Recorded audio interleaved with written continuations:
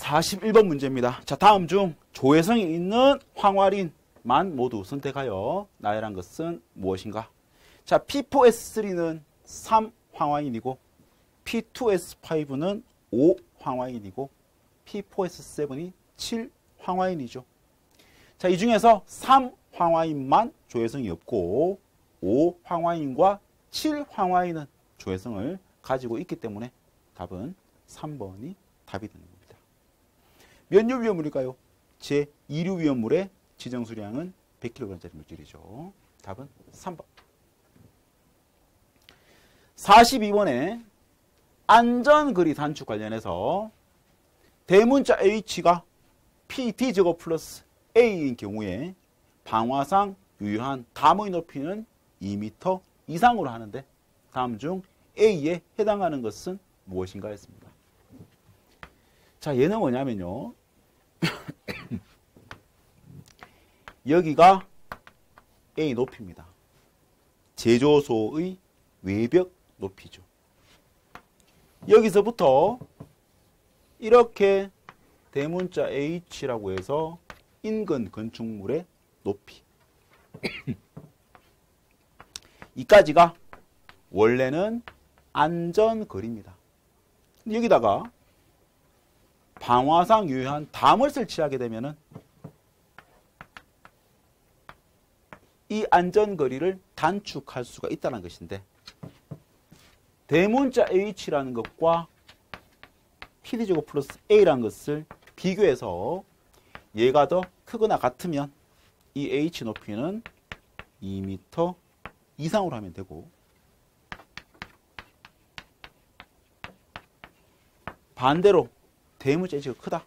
자, 이럴 경우에 소문자의 높이는 대문자 H 마이너스 P의 T제곱 마이너스 소문자 T제곱인데 여기서 이까지의 거리를 소문자 T라고 합니다. 자, 이런 공식을 적용해서 이 높이를 구할 수가 있는데요. 지금 문제는 이거 묻는 거 아니죠? 여기에 들어가는 이 A가 뭐냐는 겁니다. 자, A는 여기죠. 이건 제조소 등의 외벽의 높이. 2번이 답이고요.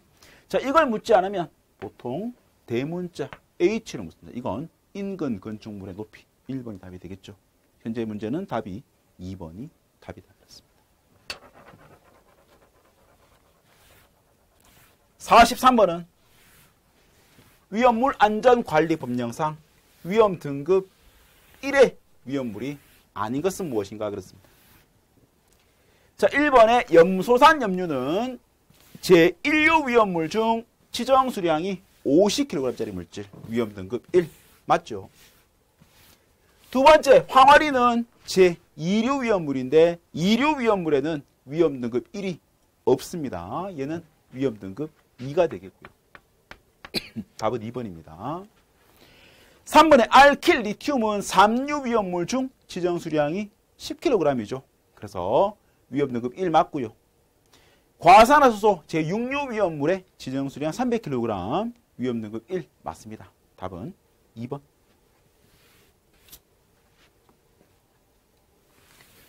44번 문제는 옥외 탱크 저장소에서 취급하는 위험물의 최대 수량에 따른 보유공진업비가 어, 틀린 것은 무엇인가 물었습니다. 자, 옥외 탱크는 지정 수량 500배 이하가 3m였죠. 그리고 500배 초과 1000배 이하는 5m. 3, 5, 9, 12, 15입니다. 그래서 1000에서 2000은 9m가 맞지만 2000, 3000은 12가 돼야 되겠죠. 3000에서 4000배까지가 15m가 됩니다. 답은 4번. 45번에는 다음 중에서 지정 수량이 400리터인 것은 무엇인가? 자, 포름산 메틸은 포름산이 HCOOH인데 H를 빼고 그 자리에 메틸을 집어넣어요. 이게 바로 포름산 메틸 또는 의산 메틸인데 제1 석유류이면서 얘는 수용성 물질이라 지정 수량은 400리터가 되겠죠. 자, 그런데 의산 에틸이 있고 얘는 초산 메틸이죠. 또는 아세트산 메틸. 그리고 초산 에틸. 얘들도 역시 제1세균이지만 얘들은 비수용성으로서 지정수량 200리터로 분류됩니다. 답은 1번이고요. 다음에 벤젠. 자, 벤젠은 C 6개, H 6개, 제 1석유리의 비수용성 물질 지정 수량은 200리터. 톨루엔 C 6개, H 5개, CH3 벤젠 친구죠. 1석유리의 비수용성 물질로서 지정 수량은 200리터고 다음 벤자알데히드는 벤젠입니다. 여기다가 CHO가 바로 알데히드죠. 얘는 제2석유리의 비수용성 물질입니다. 따라서 지정수량 400리터인 것은 1번만 답이 되는 거죠. 46번에 그림과 같은 타원형 탱크의 내용적은 약 몇 세제곱미터인가 그랬습니다. 양쪽이 볼록한 타원형 탱크인데 타원의 면적은 4분의 파이 곱하기 긴 변 길이 8m와 짧은 변 6m를 곱해주는 겁니다. 여기다가 괄호 열고 직선 구간인 16m 더하기 3분의 양쪽 볼록한 2m와 2m를 더해주게 되면 이 타원형 탱크의 내용적을 구할 수 있는 거죠. 자, 이걸 계산하면 답은 653 세제곱미터 나옵니다. 47번에는 벤젠에다가 진한 질산과 진한 황산의 혼산을 반응시켜 얻어지는 화합물은 무엇인가 했네요. 자, 벤젠 구조식은 이렇습니다. 여기에 H가 달려 있는 거죠. 자, 이때 질산은 H, NO3고 여기서 황산은 촉매로서 작용을 시킵니다. 그러면 탈수가 되는 현상을 나타내는데 탈수라는 말은 물을 따로 빼낸다는 뜻이죠. 어떤 원리냐면 이 H를 가지고 나와서 이 H랑 H2를 만들어내고 여기에 산소 3개 중에 한 개를 따로 빼내서 H2를 만든다면 남아있는 건 NO2만 남겠죠. 얘가 바로 이름이 니트로란 말입니다. 니트로를 여기로 치환을 시킵니다. 만들어지는 물질은 벤젠에 NO2가 붙은 것이라서 이름은 니트로 벤젠 제 3석유류의 벤젠 살아 있으니까 비수용성 물질이 되는 겁니다. 답은 4번이 답이겠죠.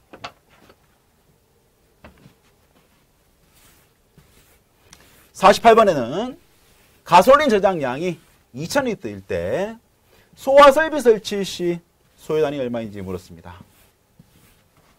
가솔린 휘발유입니다. 휘발유는 사료 위험물 중 제1석유류고요. 제1석유류이고 비수용성 물질이기 때문에 지정 수량이 200리터인데 저장량이 2000리터이고 1 소요 단위는 지정 수량의 10배이기 때문에 이건 1이 나옵니까? 다시 말해서 지정 수량이 200리터인 가솔린의 1 소요 단위는 200리터 곱하기 10배 10이 되죠. 왜냐하면 위험물은 지정수의 10배가 바로 1 소요 단위니까. 그러면 결국은 2000리터 자체가 뭡니까? 1 소요 단위가 되는 거죠. 답은 1번이 답이랍니다. 49번에 질산아모늄 제1류 위험물이죠. 질산아모늄의 설명으로 틀린 것은 무엇인가 물었습니다. 질산아모늄 화학식은요. 자, NH4 그리고 NO3입니다. 지정 수량은 300kg인 질산 염류에 속하고요. 첫 번째 보기가 상온에서 고체이다. 인류는 산화성 고체죠. 맞습니다.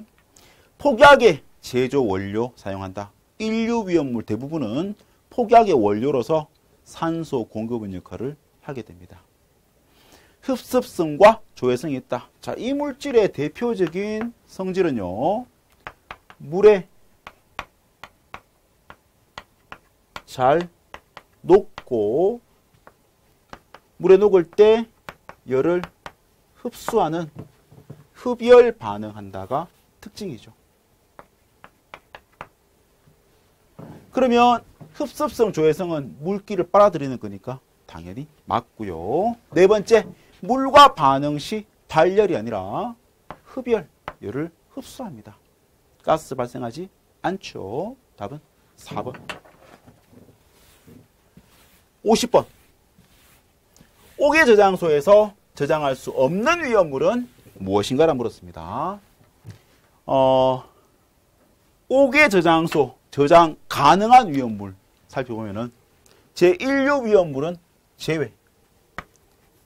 제2류 위험물 중 유황 그리고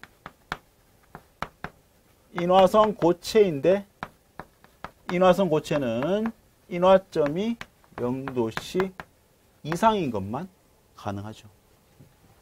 3류 위험물 아예 안 되고요.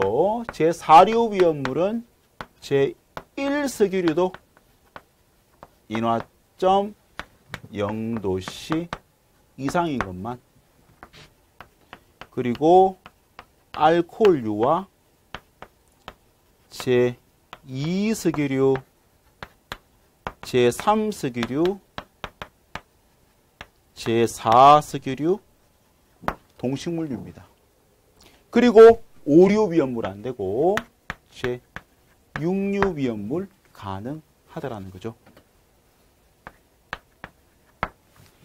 자, 첫 번째 보기에 과산화수소는 제6류 위험물입니다. 화학식 한번 써볼까요?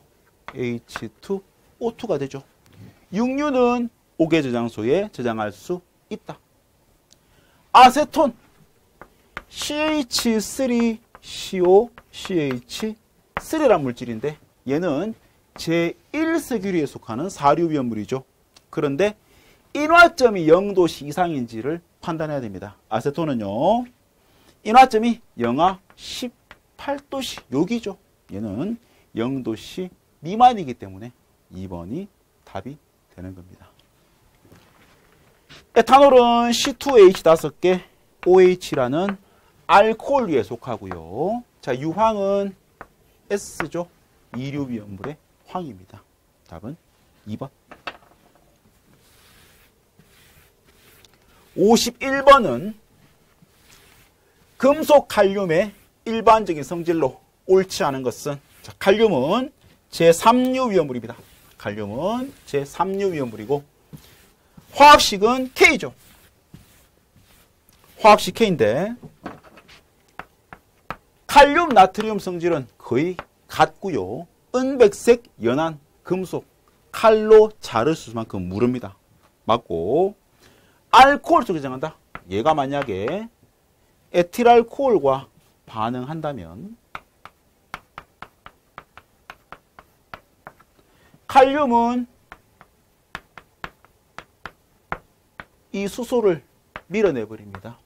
그 자리를 차지하게 되겠죠. 이름은 칼륨 에틸레이트. 그리고 밀려난 건 수소, 수소겠죠. 그래서 수소가 발생하는데 칼륨 한 개, 여기도 칼륨 한 개, C2H5개, O, 요까지. 수소가 한 개 있는데 여기는 두 개 있으니까 0.5를 곱하면 되겠죠. 그래서 알코올과 반응시키면 수소라는 폭발성 가스가 만들어지니까 그러면 안 된다가 맞겠죠. 답은 2번이고요. 그 다음에 칼륨은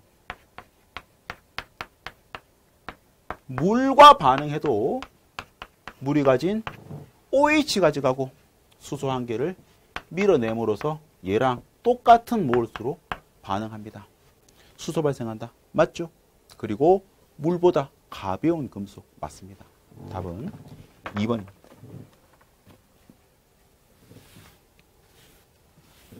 52번에는요. 다음과 같은 물질이 서로 혼합되었을 때 발화 또는 폭발의 위험이 가장 높은 것은 무엇인가? 벤조일 peroxide는 peroxide가 과산화고요. 벤조일은 탄소를 가진 유기물이라서 쟤는 유기 과산화물이죠. 몇 류 위험물이다. 제5류 위험물이고 질산은 제 육류 위험물입니다. 둘이 만나면 굉장히 위험하겠죠. 오류 위험물은 자기 반응성 물질로 자체적으로 위험한데 거기다가 산소 공급원을 넣어주면 당연히 위험하다는 겁니다. 두 번째가 이황화탄소. 얘는 사류 위험물 중 특수나물인데 어디 보관합니까? 물에 보관하죠. 정류수는 보액입니다. 세 번째 나트륨과 석유. 금속 칼륨이나 나트륨은 석유류 속에 보관하죠. 그 종류로는 등류, 경류 또는 유동파라핀이 되니까 3번, 4번 둘 다 석유, 유동파라핀은 보액 관계에 있어서 답은 1번이 가장 위험하다.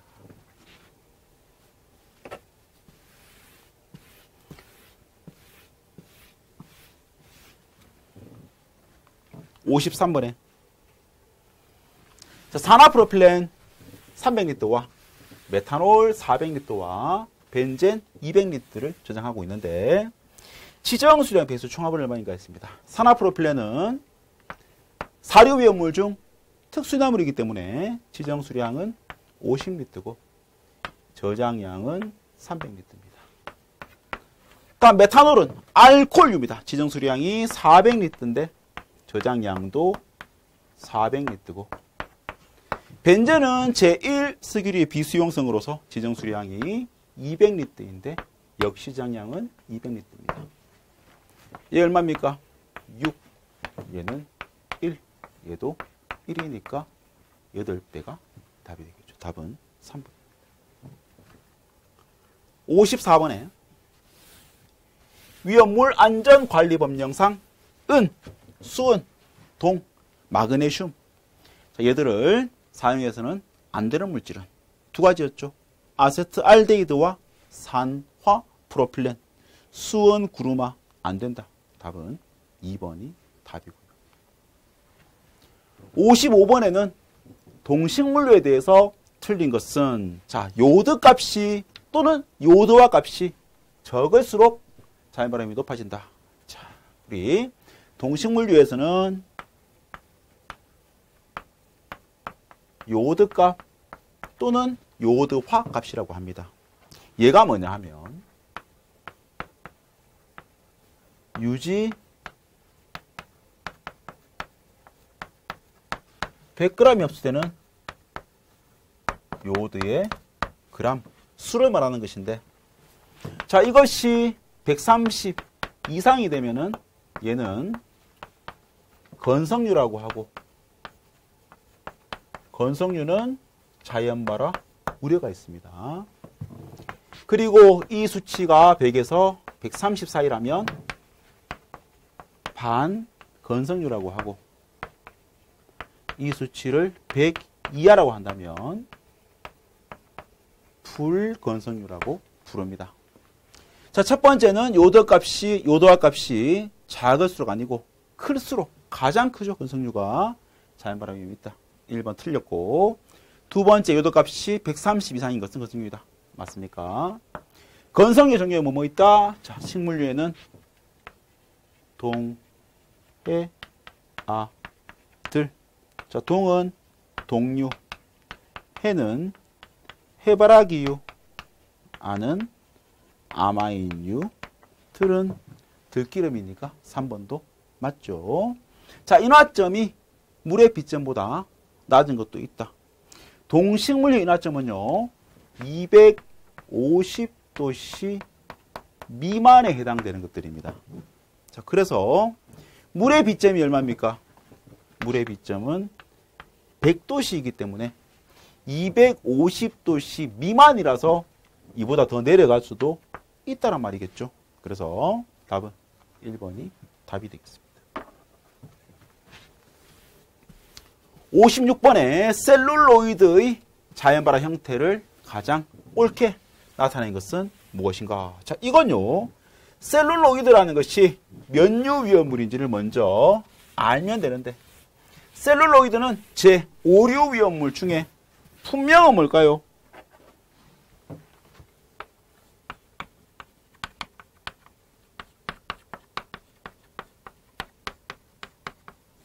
칠산에스텔에 포함되면서 지정 수량은 10kg입니다. 그리고 주로 오류 위험물들은 발화할 때 분해 열에 의한 발화한다라고 외워두시면 되겠습니다. 답은 3. 57번에는 염소산 칼륨에 대해서 옳은 거 물었는데 몇류 위험물일까요? 제 1류 위험물이죠. 무슨 무슨 산 뒤에 금속은 제 1류 위험물. 1류니까 첫 번째 강한 산화제이며 열분해 할 때 염소가 아니라 1류는 전부 다 산소 기체 발생한다. 이렇게 됩니다.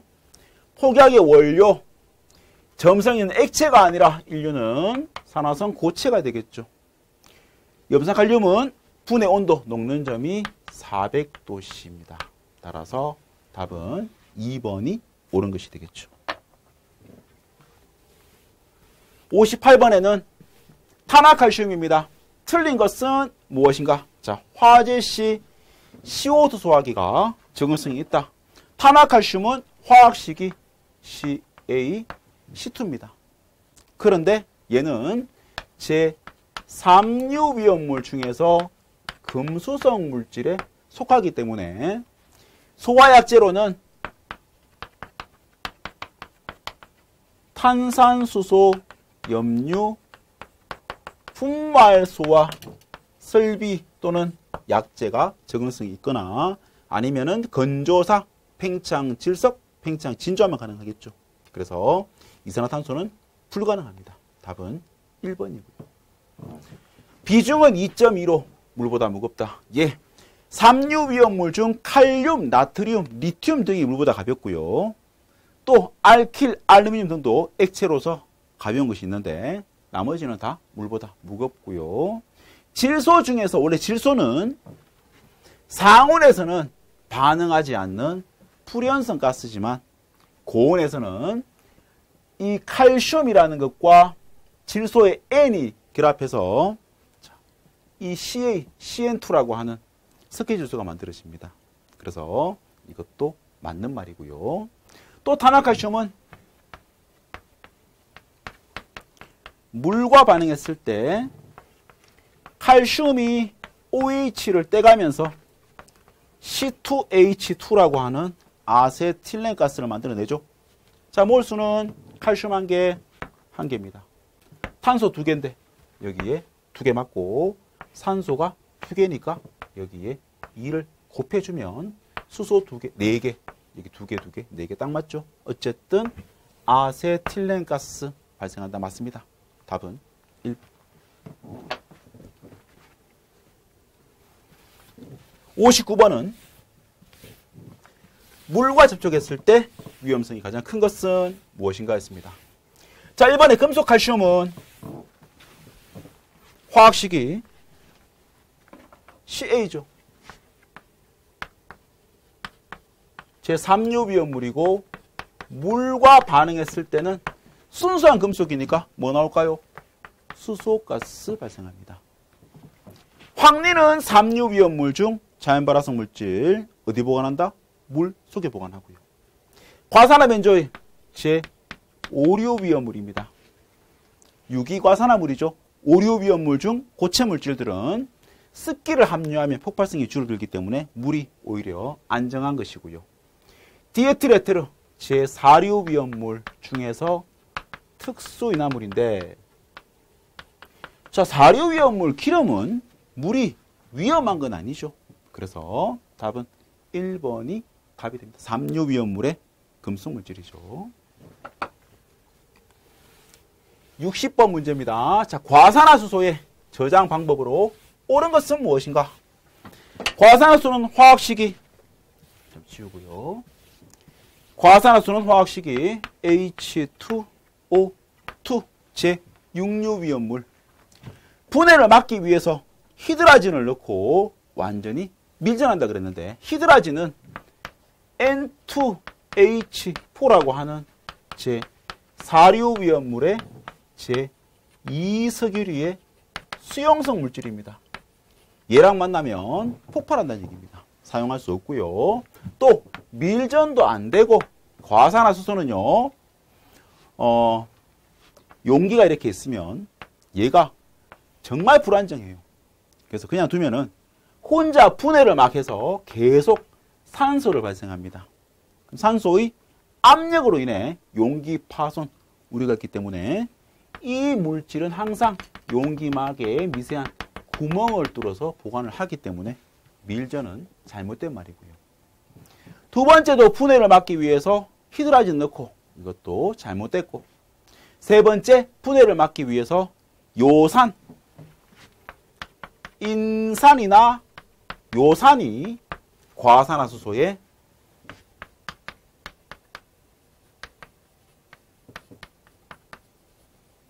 분해 방지 안정제입니다.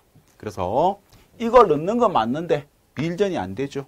자, 4번 보시면은 분해를 막기 위해서 요산을 넣고 가스가 빠지는 구조로 마개를 한다. 어떻습니까? 답은 4번이 답이 되겠죠.